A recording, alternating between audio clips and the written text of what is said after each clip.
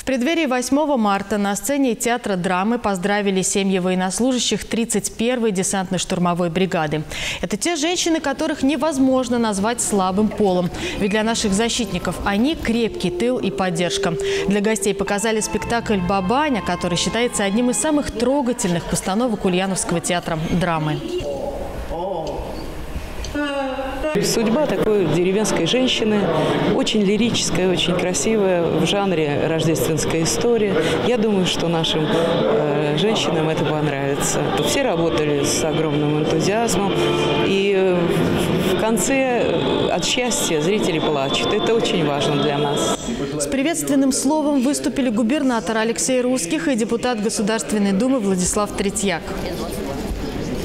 Когда Всевышний наверное, создавал все, что лучше на земле, как художник перед тем, как какую-то картину нарисовать, он делает эскиз. Ну вот нас, мужиков, мы как бы в эскиз попали.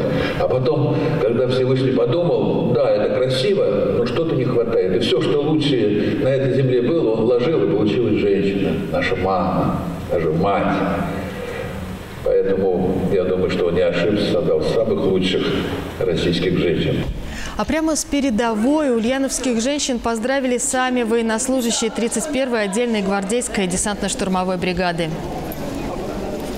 Уважаемые наши милые дамы, от имени разведывательного батальона 31-й бригады поздравляем вас с весенним днем 8 марта.